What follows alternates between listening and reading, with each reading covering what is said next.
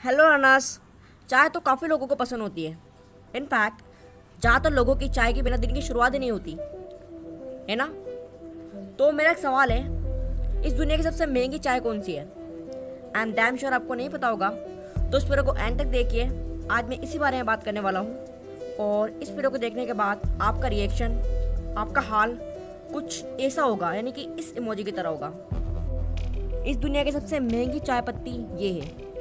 अगर आपको उसका एक किलो खरीदना है तो आपको साढ़े आठ करोड़ रुपए देना पड़ेगा। यानी कि इसकी एक किलो की कीमत साढ़े आठ करोड़ रुपए अब आप सोच रहे होगे, इस चाय पत्ती में से क्या खास है? एक्चुअली जिन ट्रीज से ये चाय पत्ती प्रोड्यूस होती है, वो काफ़ी कम है, वो ना के बराबर बचे हैं। और इस चाय को पीने के बाद आप किसी भी तरह की बीमारी से रिकवर हो सकते हो, चाहे वो कितनी भी सीवियर इलनेस हो। इस चाय पत्ती का नाम याद रखना। द होम पाव टी आई एम श्योर आपको आज की शॉर्ट वीडियो पसंद आई होगी। मिलता हूँ अगली वीडियो में। Till then have a great day bye